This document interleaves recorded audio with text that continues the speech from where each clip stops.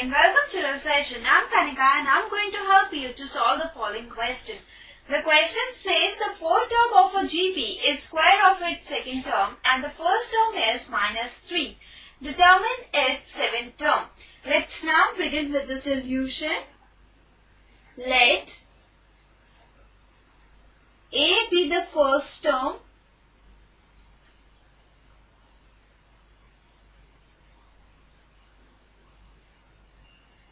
and R be the common ratio of a GP.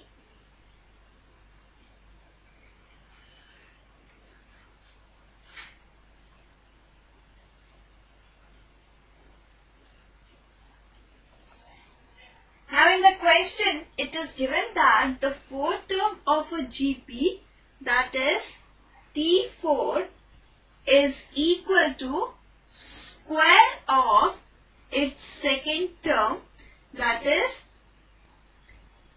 T2 whole square. Right.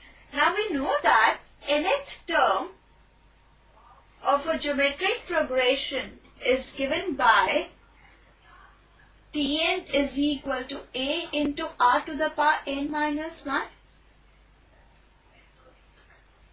So fourth term that is T4 is equal to A into R to the power 4 minus 1 and this is equal to A into R to the power 3 and the second term that is T2 is equal to A into R to the power 2 minus 1 and this is equal to A into R.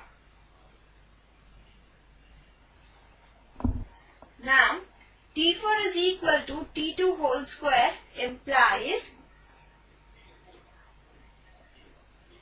AR cube is equal to AR whole square.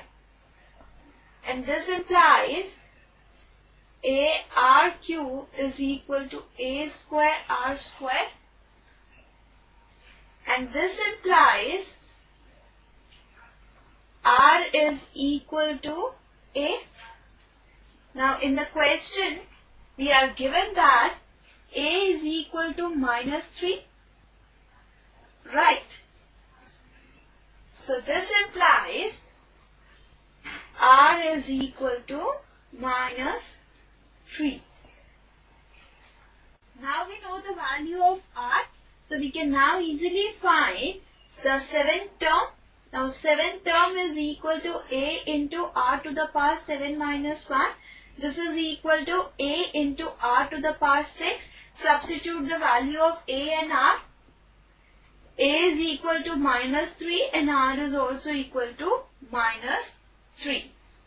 Now this is equal to minus 3 to the power 7 and this is equal to minus 2187.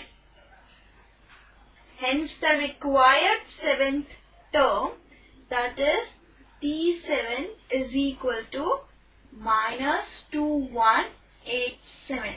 This is our required answer. So this completes the session. Bye and take care.